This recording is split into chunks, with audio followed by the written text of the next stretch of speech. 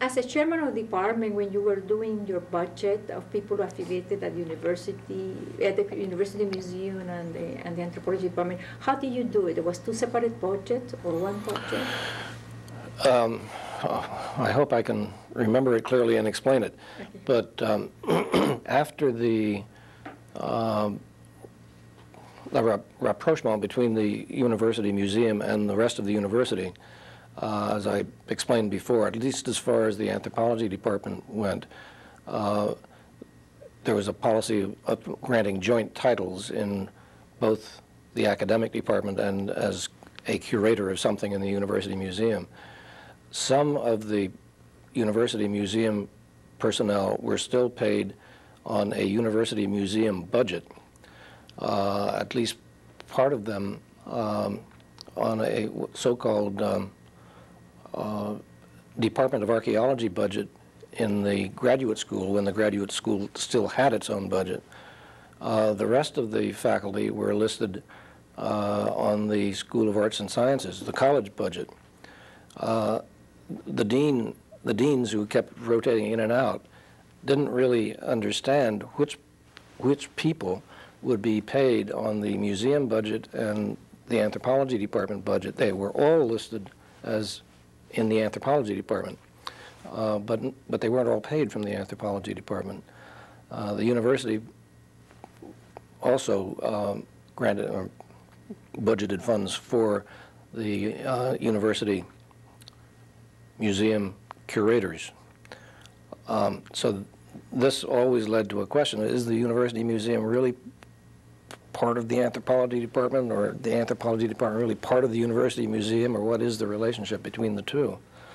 I, I, not having been responsible for budgets for the last uh, nearly 20 years, I don't really know how, how this is managed right now.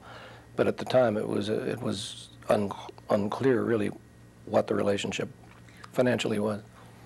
Did you experience any conflict or controversial issues such as that a curator uh, being dismissed from the university, uh, uh, university museum and a conflict in one, if they are hired through the University of Pennsylvania, in his tenure, Yes, he cannot be asked to leave, right? correct. But what happened if there was problem at the university museum with a certain individual as a curator that they don't want him anymore? Can this person be dismissed or it, or it cannot? Well, my understanding of the way it was then, I really can't speak to uh, Bob Dyson's uh, practice now, but my understanding at that time was that all curators had to be processed by the um, university's uh, uh, faculty uh, personnel committee, uh, and that meant that they eventually received their appointment uh, through the provost's uh, staff conference and eventually from the president's office or from the board of trustees, really, uh, just as any other faculty member in sociology or physics or what have you. Uh, but that meant uh, that tenure rules applied. And as I mentioned earlier, that grated a little bit on the nerves of uh, Froelich Rainey uh, because he was, to some extent, losing control over the direction of a program. Uh, if he, if they wanted to end a program in, in Africa, let's say, because it wasn't productive, uh, and the uh, curator of African Studies had tenure, they couldn't do anything about it uh, unless they raised money for uh, uh, other purposes directly from their own constituency, which the University Museum was free to do. It could raise and does raise, as I understand it, funds for expeditions uh, quite independently of university financing procedures. But, the, but their curators are members of the faculty, and faculty rules apply, uh, specifically tenure rules. As a chairman of the department, do you have, yes, I think so.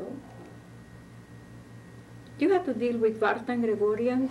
Oh, yes, Gregorian? yes. Can you Well, tell me Not as Vartan? chairman, but As uh, as faculty, As faculty? yes. Delightful person, I mean, really terrific. I, I really liked uh, dealing with him. Um, I, he was very quick. He was uh, very pleasant with, with faculty, and I think everybody, I think many people felt that way too. That he was, he exuded a kind of personal friendliness and warmth that uh, made people uh, feel comfortable. And um, I think he, he also was a highly competent administrator, a good fundraiser, uh, and an understanding, uh, uh, an understanding executive, uh, a very efficient, efficient person. So um, uh, there certainly was a strong faculty constituency when the question of who should be appointed uh, the next president, uh, a strong faculty constituency that, uh, that favored him.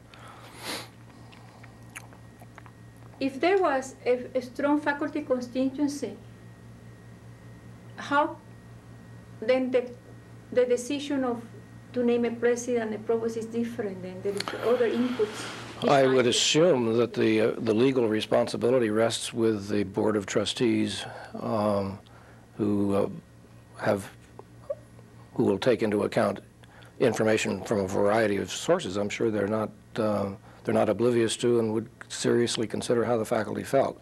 I just don't know the inside uh, of these transactions, uh, but uh, uh, certainly it is not something that, that the faculty has uh, the right or the power to simply elect uh, a president. Uh, you let's go back in let's come back into a, the time period the 60s the univers the type of students Mhm. when you were here as a student do they have a lot of social do you see a lot of social awareness about the student or political awareness the I don't, I, I don't, I wouldn't think so. I wouldn't have thought so. I- Among the veterans, uh, the veterans had sort of, sort of had it with the rest of the world by that time, and I think were anxious to get on with their lives. Uh, I remember in the 19, as the, as the Cold War ground on, and it became apparent that, that uh, atomic weapons were proliferating, and there was a real concern about the possibility of uh, a, sh- a shooting war involving nuclear weapons with the Soviet Union. Uh, everybody was concerned. Um, at, at that time, I was, I guess, uh, when I was in the Behavioral Research Council, for instance, I was on uh, a committee on disaster studies of the National Research Council, which is an arm of the National Academy of Sciences. They were busy studying natural disasters in the United States and elsewhere uh, to, as models for what could happen if an atomic attack on the United States occurred. And the results of all of this were, were eventually brought to the National Security Council, and, and I would believe, I don't know what really went on, but I would believe on the basis of those and other studies, it became apparent that, that um, the major issue then was evacuation of cities, that evacuation of cities in advance of uh, the arrival of an atomic weapon was impossible and the wrong thing to do. So that had everybody concerned. It was not so much a kind of political awareness, but an awareness of, um, my God, is this starting all over again? Um, and I know I was alarmed and wondered what, if, what would happen if I got drafted a second time. Um, I went and talked to Carleton Coon, and he told me scary stories about World War II, about a, an anthropologist named George Devereux, who was also in the um, culture and personality field and had done some good work on Mojave Indians in the American Southwest. And he, he said, "Now I can, I can take care of you, Tony." He said, "Now, look, uh, there's another one of these guys in culture and personality named George Devereux." And what we did with him in the OSS was drop him into Indochina. And he sat there with a radio for two years, dodging the Japanese. And I thought, oh no, I went to the wrong, the wrong source of information here. And oh dear. so fortunately, the crisis went by, and I didn't have to do field work in Indochina. But uh, But anyway, that, that was a different kind of um, campus, I think, than what developed in the 60s. With the 60s, the Korean War was over, uh, which precipitated all this concern that I was talking about. Korean War had gone past. Uh, it was a semi-legitimated war because of the involvement of the United Nations. Um, and then Vietnam came along, and, and, it was difficult for anybody to find much, much reason for the increasing, the escalating involvement of the United States in, in Vietnam. And of course, along with that, then it did become a period of, of campus and countrywide protest. And uh, so that was a very different kind of student atmosphere. And it certainly affected all, all departments. What sort of atmosphere was then during the 60s when they were well, it, it? it was an acrimonious atmosphere. Uh, there, there was factionalism within the ranks of faculty. Uh, it is an unpleasant time to remember. There were faculty members who tried to get rid of graduate, radical graduate students. Uh, there were faculty members who tried to get rid of conservative fellow colleagues on campus. Uh, it was a, a time of um, infighting and back, back, backstabbing. Um, and, of course, constant protests and pressure from, from students on administration, with administration then feeling that it was forced to uh, make compromises. Uh, and uh, it was a time of uh, great concern about the involvement of um, the CIA, for instance, in, and the military in the um, conduct of, of research on campus. And it led, quite properly, to the university backing off from accepting as much money from uh, military uh, sources as it had in the past for research across the board, whether it be in physics or the social sciences. But at, at that time, it was, um, I don't know whether it's possible now, but at that time it was possible for, for instance, for a graduate student to get a, or a recent faculty member to get a grant directly from the Defense Department to do research in some place like Ethiopia or some other place where uh, U.S. strategic interests might in the future be involved. And while the research itself would be perfectly legitimate and straightforward and competent, uh, it obviously also um, was an investment in, um, in national security.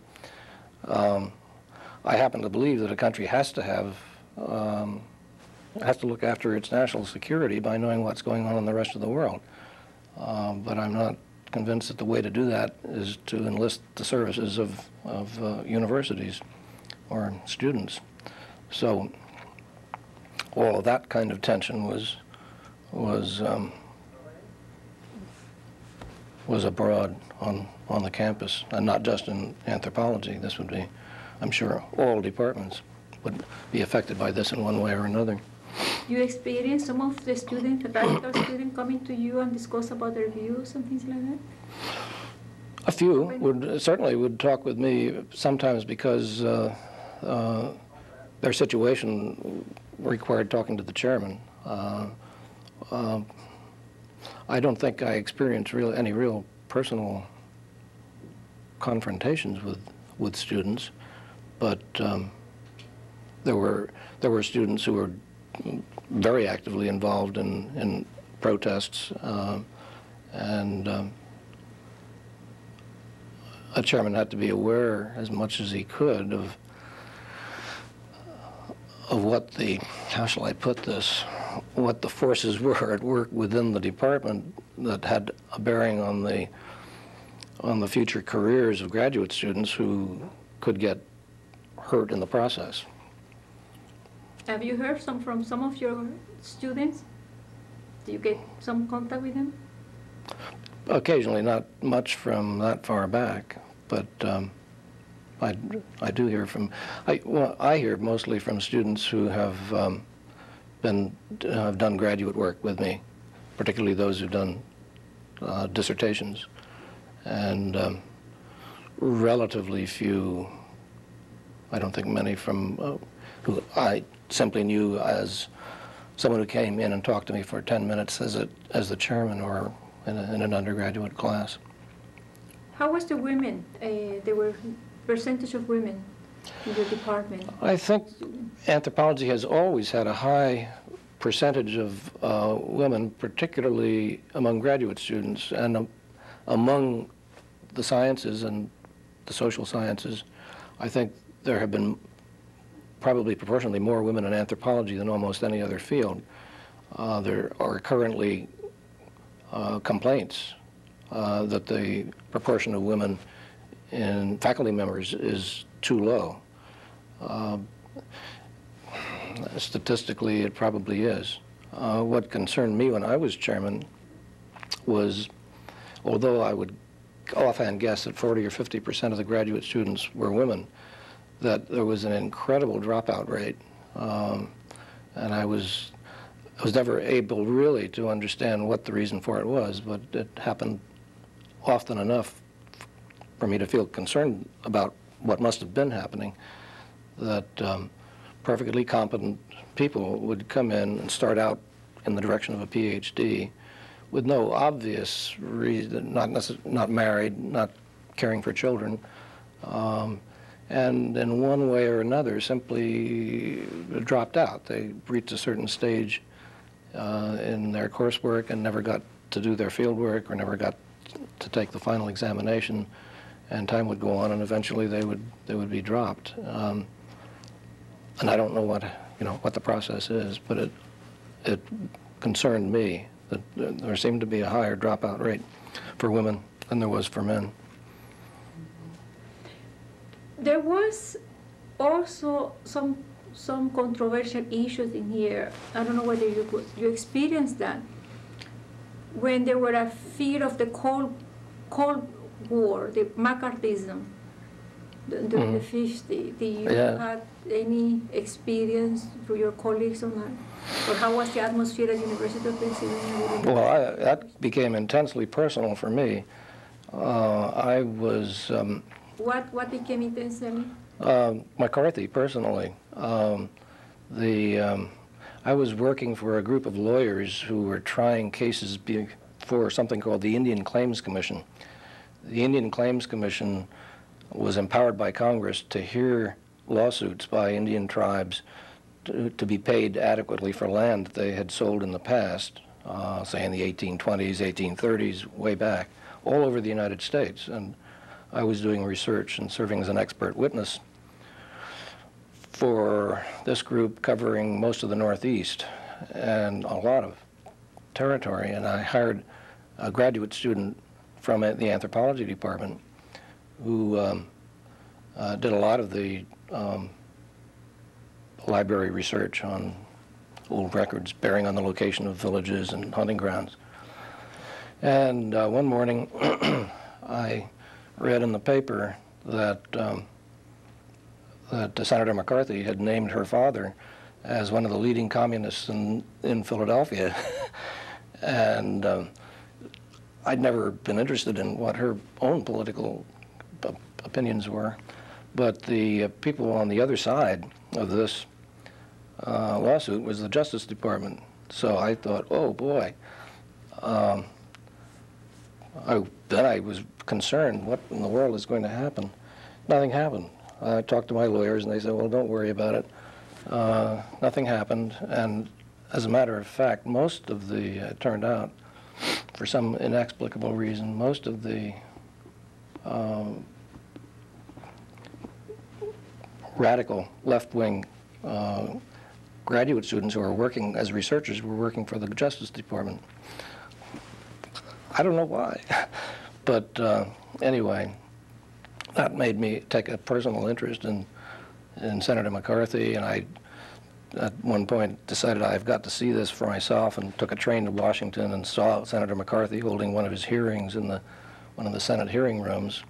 Nothing very exciting, but um, it was really it was really kind of a scary time.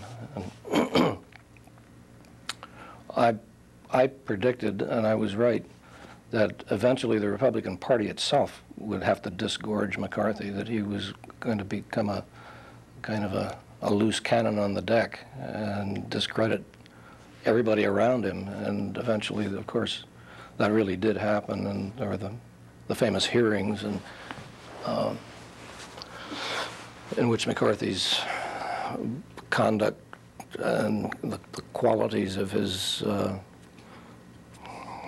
investigative talents were revealed.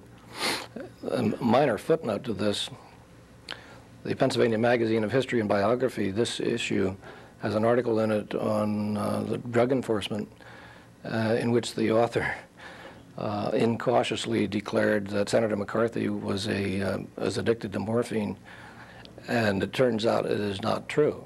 Uh, and and he, uh, the author is going to print a retraction. So McCarthy continues to be a, um, a controversial person. Talking about, there is always controversial issues, um, and it seems that it repeats again um, through, throughout. This is talking about minorities, minority groups being neglected. Uh, when you came on the, as a student, 48th, uh, did you notice that there were very few minorities in here, or blacks? I'm not talking about black Chicanos, Latin Americans, you know. Well, um, I guess I would, there weren't in, when I was there, there were few, and still are, a few blacks in anthropology. Um, I, I, in part, I think, because it's not a field in which you can easily learn, earn a living unless you want to work as a college professor. Um, there had been some blacks uh, students, black Africans, uh, students of Frank Speck. Uh, and Nkrumah, I think, was a student of Speck's, and uh, another leader of a, a black African country uh, after the war was a student of his. There were very few uh, American blacks. Uh, one wrote, um, one student wrote a book still in print, I think, called Black Gods of the Metropolis. Another, in fact, revitalization movement kind of subject. Um, there weren't many blacks. And at, at that time, I think there were re- far fewer uh, Spanish-speaking uh, people in Philadelphia and in general, I think, outside of the Southwest. Um, so I don't think there were many, if any, minorities in, in that, either black or Chicano or Spanish-speaking in general. I'm sure there are now. There are more, certainly more uh, blacks and, and more um, Spanish-speaking students.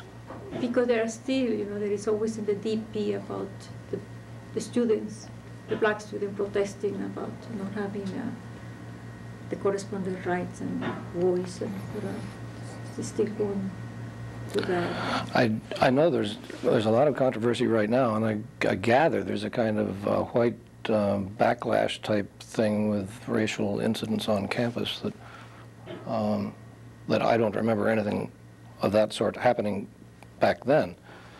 Um, I don't think that uh, if a, if a black student applied uh, for, to come into the graduate school, there would have been any, I mean, it would depend on on grades and interest and recommendations, and uh, I don't think it would have made any difference at all, really. One of the things, another uh, issues that was, um, that I think he has going to the other extreme now, um, there was the inbreeding. And there was a question in inbreeding uh, very much indeed at the University of Pennsylvania. That'd be a classic example. Could you what is inbreeding? Um, well, in, in the sense that um, I was a student of Speck's uh, and Hallowell's and so on, and have con- continued that tradition. I think it's partly a, how, how, how much this becomes uh, a, um, a tradition on a campus. If it happens repeatedly, it's going to be ve- extremely difficult to, for a department a field to change directions perhaps and keep up with, with things that are happening new, especially now because of uh, simply the number, the, the large number of people who have tenure. Um, in anthropology over the past few years, uh, gradually almost everybody within the department has come to have tenure. So that, and the size of the department is not expanding. At that point, you can't appoint new personnel. If you want to bring people in who are interested in something that's going on in anthropology, that, and you don't have people who are doing that right now, there are no slots. You have to wait until somebody retires or dies. So a lot Um, of the, of the, of the, of the uh, faculty member were paying students, some, beside you, part of that inbreeding. They were. Well, they, when, when we were building up, um, I don't know that we concerned ourselves especially ab- about it, but I think the policy that uh, everyone would follow is you get the best person that you can get wherever they come from. Uh, If the best person in a particular field that you want to have represented in your department happens to have been trained in your department, you go and hire him too, or her. But uh, it's, it, with an expanding department, uh, it is, this is is a non-problem. We started out, let's say, with uh, three or four faculty in 1946 or 47. W- Within uh, 15 years or so, we had something in the order of 22 or 23, including, including museum personnel. Um, Expanding like that, uh, it is not difficult to say, well, we need somebody in this field, or we need, we need at least two Africanists. We don't have any right now, so we're going to find Africanists. And if they come, there, if it's an, if we haven't had an Africanist program, we're not going to hire anybody from our own uh, pool of graduate students or recent PhDs. We'll try to steal them away from, from uh, a place that is producing Africanists. When you have a very, a, a very um, a outstanding student, graduate student who decides to leave, to go to Harvard, to go to whatever, Mhm. and there is, is there an attempt, for instance, when there is an opening f- to bring to bring that student? Or It certainly can. faculty? It certainly can happen. I wouldn't hesitate to do it. Uh, I can think of two or three people like that, that uh, they become outstanding in their field, and it's a, it's a specialty that we also practice. Uh, Then I would say, gee, we'll go after them as, as hard as we can. It becomes kind of an added qualification, perhaps, that uh, he or she was was away for three, four, five, six years, uh, and has learned some something about another department and somewhat different points of view. I think that that is an advantage. Um, but uh, I mean, we I'm sure we've we've gone after the people that we thought were best. We and I've never knowingly gone after someone just because he was an old uh, graduate student of our, ours or an old crony. Okay, where were A moment ago, you were, you were raising the, um, a general question about uh, the the way in which the university, back in earlier times when I was uh, chairman, uh, interacted with the uh, community in West Philadelphia. Um, And that brings to mind uh, an an abortive experience. Um, I was um, um, asked to chair a committee to uh, study the question of how the university could help uh, the uh, help to improve the education, the public education and private education uh, opportunities off campus for residents of West Philadelphia. Uh, some of them being university families, and others simply residents in the neighborhood.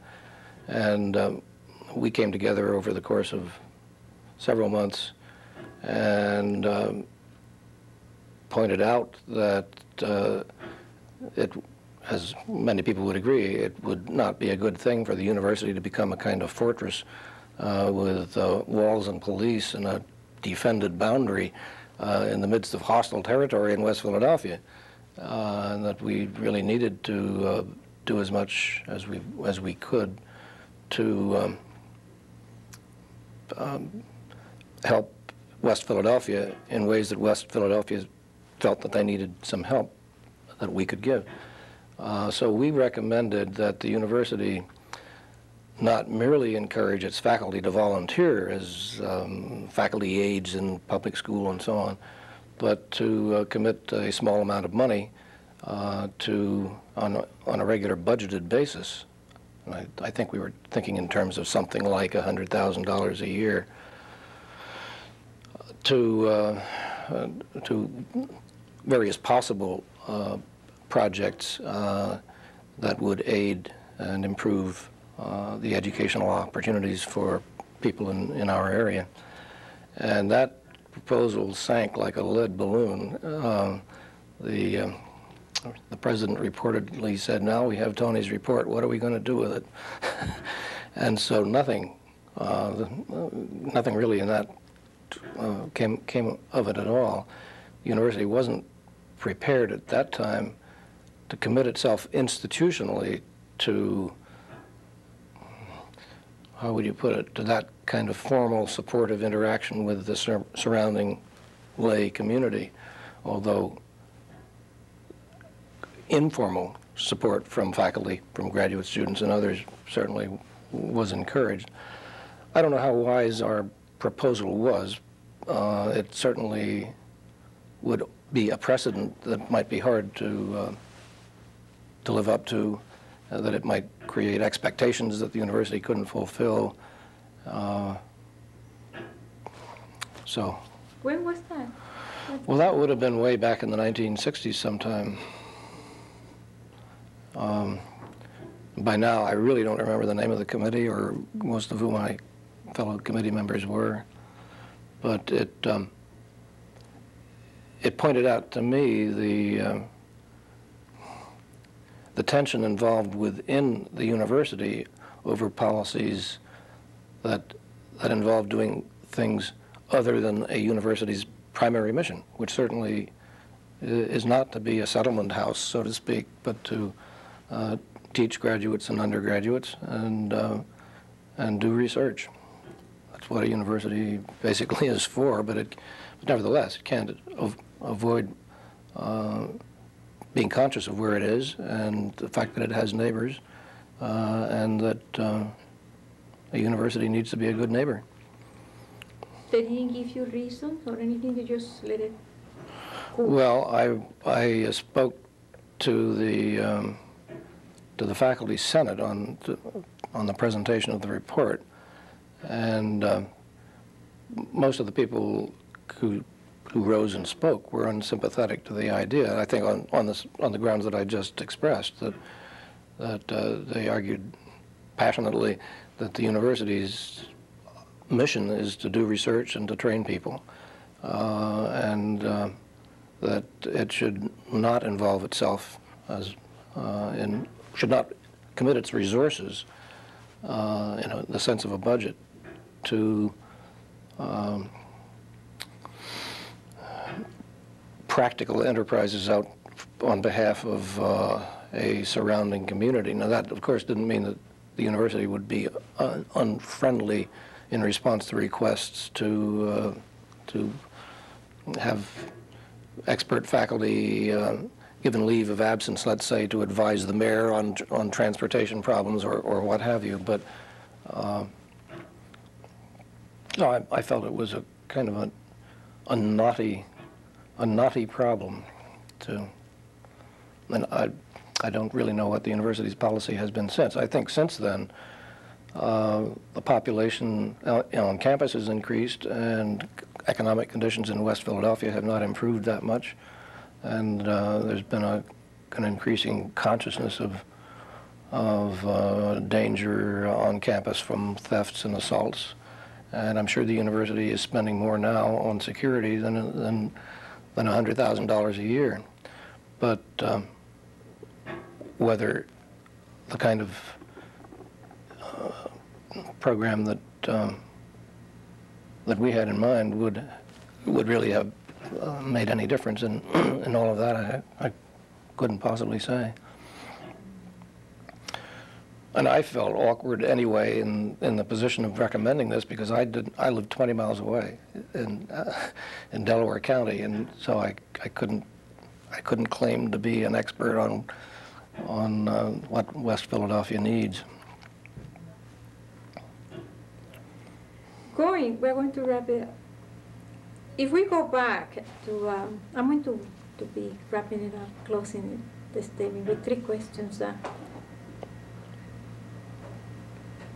to the question of uh, what would you consider your fondest memory when you, as a student at the University of Pennsylvania, when you came as an undergraduate or as a graduate student?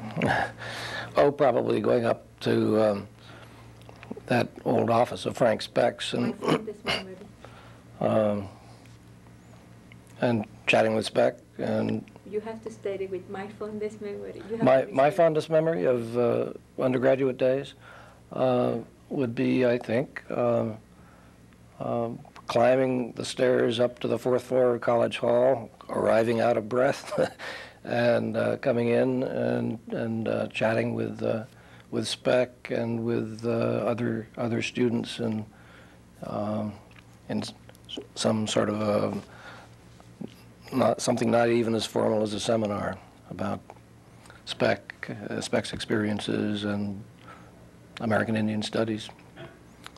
So he was that, that, I, yes, he was a real. Uh, uh, I have very fond memories of Speck. He died, I think, while I was still a graduate student. Um, but um, every, I think everybody remembers him with, you know, with the same kind of affection. now, what about when you were a faculty and a chairman?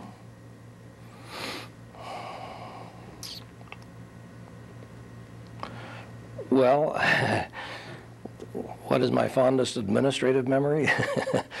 I think, um, I think basically um, realizing when I was in conferring with Goddard, uh, David Goddard as, as provost early on, perhaps in the 19, 1962 or 63, just before I became chairman, that he was offering me a blank check uh, that I could structure an anthropology department as I thought one should be structured, that there were no, uh, there were no strings attached, um, and that um, sooner or later money would be forthcoming.